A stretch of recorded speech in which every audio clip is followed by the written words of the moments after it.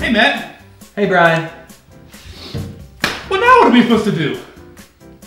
Interesting you asked that question. It's a question that a lot of people are asking across the world right now, and, and it's one that God speaks directly to. Hey, join us this Sunday uh, for our series called Hello, My Name Is, where we discover that God is our good shepherd who promises to lead us and to guide us. Find out how this Sunday, 10 a.m. at the Rockbridge Church VA YouTube channel.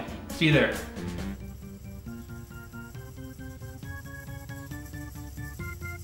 For real.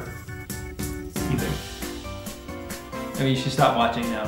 Go, go do something. We, Right. We're not going to give you the answer right now. The video's been over for like 15 seconds. Perfect. Nothing else is gonna happen. Well, now what are we supposed to do?